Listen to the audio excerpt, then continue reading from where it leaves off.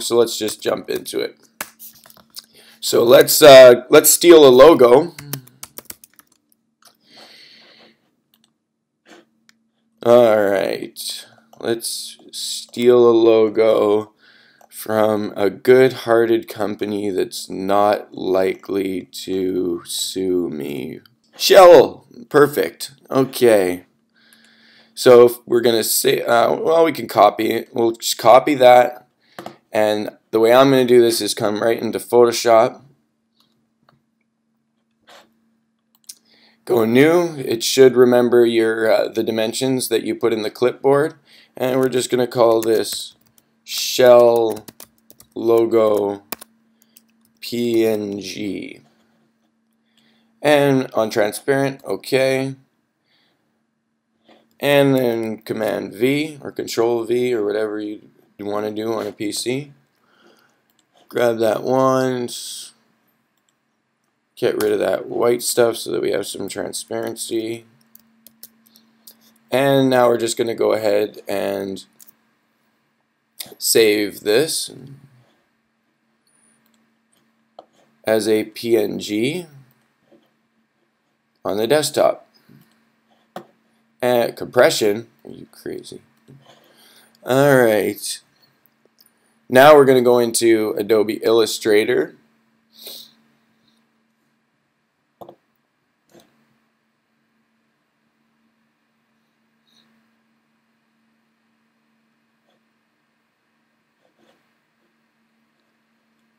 Yeah, blah, blah, blah, blah, blah. You know, I should. I wish there. I wish I could see never do this again to me thing. there it is. Oh, you guys are witnessing history, guys. Here we go. Okay. So what you're going to want is this image trace window right here. Uh, oh, that's Photoshop again. Let's go File, Open, and we put that thing on the desktop, shell logo, PNG, just find whatever you called yours. And what I like to do in Illustrator right out the bat is go View, Show Transparency Grid, so you can see that we have transparency. Because that, sometimes when you bring things from Illustrator to After Effects, you don't realize that you didn't have transparency in a little spot that was the same color as your artboard. So that can suck. Alright, so now let's go ahead and image trace this. I want it in color and I want two colors because you can see there's two. If you're doing this with a more complex image, obviously you can do it with more colors. But uh, there's a limit. You'll find out what that limit is. If you do it too complex and then bring it into After Effects, it'll say something like, you have a triangle that's too small, and it just won't work. So try to keep the logos a little bit simple, but you know, I've definitely done this before with like 30 colors. Alright, so we'll just trace that. I'll skip ahead this progressy part. Gotta cluster the pixels. What? Uh, see? You may have to add a couple go a little higher on here. See, it should have obviously been 2, but apparently not. Apparently it went and grabbed this white background for the second color, so there was 3. Alright, so we're going to grab this white direct selection tool and grab this, oh, first we're going to expand. There, now click off so that you don't have anything selected. Use your uh, direct selection tool to get rid of that white stuff because we don't want that. So that's why it's important to have your transparency grid because sometimes when you're doing image tracing, uh, transparency can, can be lost. Alright, so now what we want to do, and you don't have to do this, but I'm going to do this just because uh, it's pretty, this is kind of a cool part of the tutorial. I'm going to make a, a new layer, then I'm going to grab my direct selection tool, and I'm going to extrude the yellow in, in After Effects I'm going to extrude the yellow uh, or the red more, more than the other so I think the yellow would be kind of cool to extrude so go Command C, then delete, then come up, select your next layer, and Command V. So you're putting that in another layer. And then you can kind of use your arrow keys to get it right into place. I'm sure there's an option for like paste on place or something like that, but I just didn't bother to look it up yet. Alright. And also when you bring it into After Effects, it kind of shifts on you anyway for some reason. So anyway, there we go. And now what we're going to do is we're going to save this as an AI.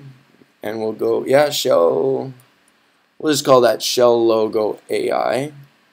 And save. And it should all look like this, I guess. Okay. And then we're going to go into After Effects.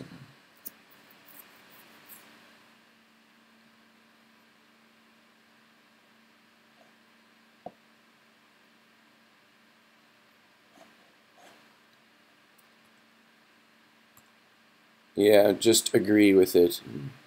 New composition, 1920 by 1080. We'll call this one shell logo. Sure. Ray trace, blah, blah, blah. That's important. Okay. Uh, now, the first thing that we're going to do is double click, or however, Command I, however you want to import files. And we're going to go and get that shell logo AI file. And when this, yours might say footage, you want that to say composition. And um, I'm saying layer size, but you can play with that if you want. I've always said layer size. Alright, so now what you want to do is drop down, you got a folder here that shows your layers from Illustrator. Just go and drop that down and grab them and drag them into your timeline area. So now, sweet, we have this shell logo in here. So the first thing I'm going to do is I'm going to go ahead and make it so that I'm working in 3D space with both of them. And if I start beat, this is kind of a, a taxing thing. So if I start beach balling too hard, I'll just fast forward that through in the tutorial. Once you've got those 3D boxes checked, then you're going to want to go up here and see how my renderer says ray traced. Yours might say classic 3D. If it does say classic 3D, click on it and you'll see this dialog. Yours will be at that. Change it to that. Cool? Alright, glad we had that talk. Okay, next thing you want to do, right click on your thing, on your uh, layers here and create shapes from vector layer. And then you'll get another uh, layer here called the outlines for each layer. And these are what you, these will now be all that's visible, these outlines, and that's basically what you want to work with. So now you should have certain uh, geometry options for this for the uh, for the two layers of this logo. So, I can't remember, was layer 2 the yellow or red? We'll find out now. So going to geometry options, and now we can start extruding.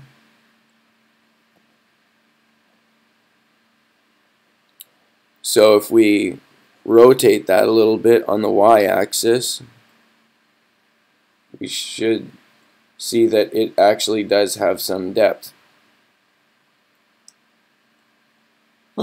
It does. Excellent.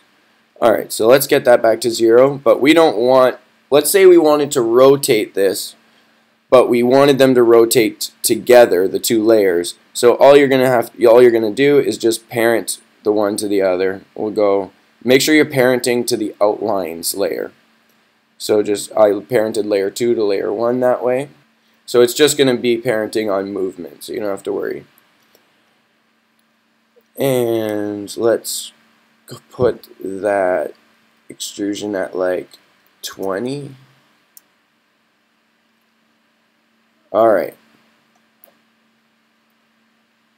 So now it looks a little bit 3D, but it's still not fully awesome. So let's add a light. So to add a light in After Effects, we're going to go Layer, New, Light. And let's make this light like a crazy, like blue kind of light, me like that. Spotlight, yep. Okay. And light positioning is fairly awesome. It's really cool and fun, so I'm gonna just just play with it. That's how I learned it, just by kind of playing with it. And I think that looks pretty rad. So I'm gonna actually increase the brightness of it though.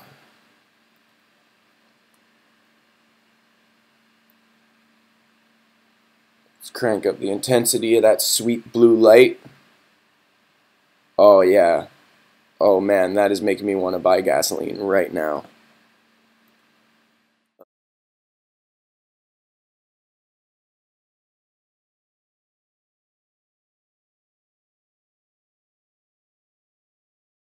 Alright, there. Now that, now we're all good.